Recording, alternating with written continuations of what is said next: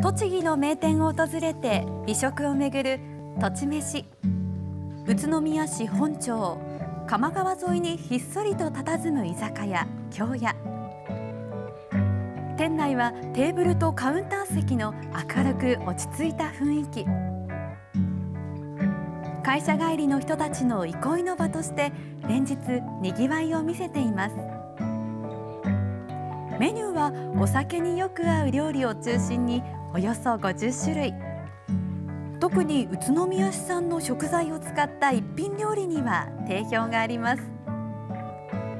そんな京屋で人気のメニューが。うち一番人気はやっぱり刺身の盛り合わせなんですけども、まあ、今戻りがつおですとか、まあ、カツオも美味しいんででなるべくいいカツオを仕入れるようにはしてます、はい、朝仕入れたばかりの宮城県産のカツオ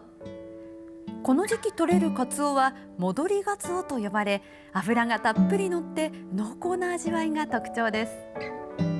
これを丁寧にさばいて分厚くカットします。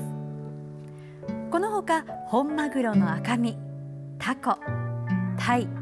ブリなどをカットして特製の大谷石のプレートに盛り付けます。仕上げに小皿に入れた生しらすを添えれば完成です。